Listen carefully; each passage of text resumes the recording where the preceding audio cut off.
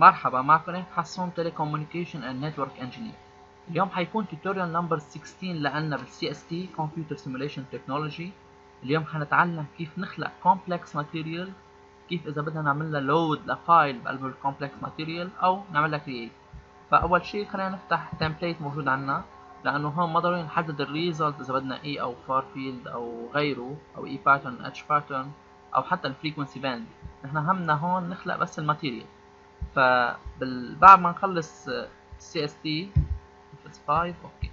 بال modeling في عندنا new or edit new material هون بال new new material أنا بقدر أخلق ال material أعطيها ال name يلي بدها إياه سميها complex مثلا. فينا ال folder new folder أو folder 1 نفسه الموجود هون. ك normal فينا ننقي أنواع لهال type لل material فينا نعطيها ال epsilon وال mu نغير ال color وغيره. طيب. بال conductivity فينا نعطيها ال conductivity المطلوبة منا أو ال magnetic conductivity هون electric هون magnetic فينا عنا tangent delta tangent delta magnetic وهون electric في كتير إشياء نغيرهم بال material بس نحن همنا نخلق complex فبنفوت على شيء اسمه dispersion. بال dispersion عنا dielectric dispersion و magnetic dispersion بنلاحظ دايما في electric dielectric في magnetic هون بال dispersion model أنا رح أختار ال user ك dielectric dispersion list.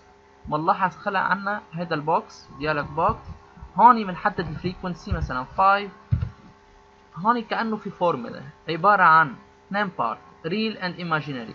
epsilon prime هي لل real plus j epsilon second يعني ال epsilon second هي لل imaginary فيني هون أقول 5 5 for example هيك أنا خلقت the electric complex. فيني أعمل load ل file موجود عندي. ك complex material اعملوا load هون أو اخلق هيك ال material. okay؟ هون بال magnetic dispersion كمان فيني أعمل نفس الطريقة حولها ل complex أو اتركها أو اتركها dispersion model مثل ما هي. okay؟ بنلاحظ هلأ خلقت عندي ال material complex material إذا نفوت عليها مرتين بيطلع لنا الشكل تبعها Thank you for watching. بتمنى يلي استفاد من هالفيديو يعمل like subscribe ل my channel you.